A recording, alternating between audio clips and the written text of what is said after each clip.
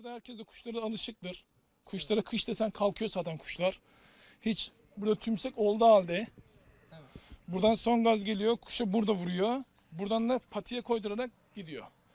Ve arkadaşı ben o gün gece yolu kapattım burayı. Her gelene baktım. Arabayı buldum. Yan alt komşu çıktı. Bana dediği laf kuştur olur ya bir şey olmaz dedi. Ka- kazadır dedi. Kazanın ne zaman olacağı belli mi olur dedi. Ne olacak ki dedim. Neyse masrafımı verim dedi.